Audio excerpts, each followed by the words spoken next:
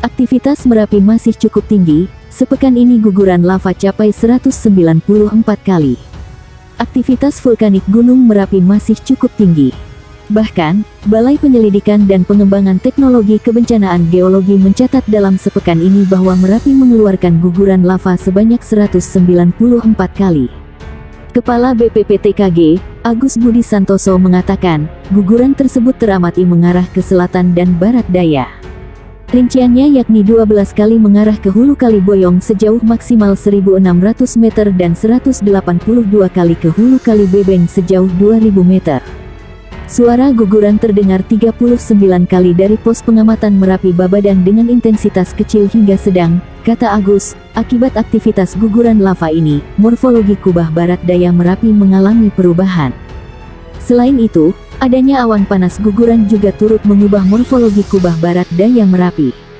Pihaknya mencatat bahwa untuk volume kubah barat daya terukur sebesar 2.573.600 meter kubik. Sedangkan, untuk kubah tengah tidak teramati mengalami perubahan yang signifikan. Volume kubah tengah sebesar 2.369.800 meter kubik, ujar Agus. Tidak hanya aktivitas guguran lava dan awan panas, intensitas kegempaan Merapi selama sepekan terakhir juga masih cukup tinggi. BPPTKG mencatat dalam sepekan terakhir kegempaan Merapi mencapai ratusan kali. Agus menjelaskan, pihaknya mengamati ada satu kali gempa awan panas guguran, 19 kali gempa vulkanik dangkal. Selain itu, juga tercatat 115 kali gempa fase banyak, dua kali gempa frekuensi rendah, 848 kali gempa guguran, dan 9 kali gempa tektonik.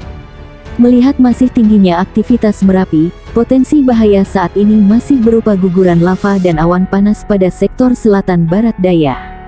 Potensi bahaya ini dapat meliputi Kali Boyong sejauh maksimal 5 km, termasuk Kali Bedok, Kali Kerasak, Kali Bebeng sejauh maksimal 7 km. Potensi bahaya ini juga pada sektor Tenggara yang meliputi Kali Woro sejauh maksimal 3 km, dan Kali Gendol sejauh 5 km.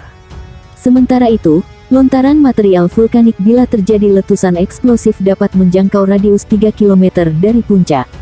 Aktivitas vulkanik Merapi masih cukup tinggi berupa aktivitas erupsi efusif.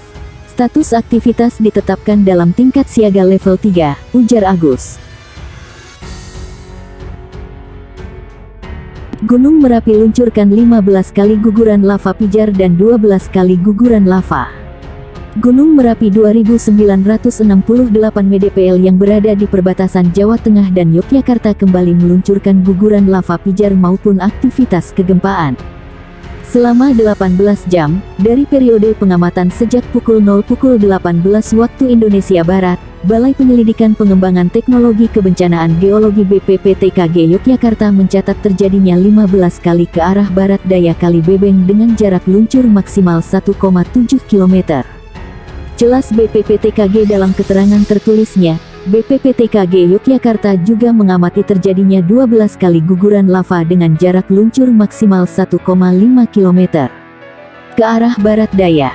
Selain itu, teramati suara guguran dua kali yang terdengar dari pos Babadan dengan intensitas suara guguran sedang.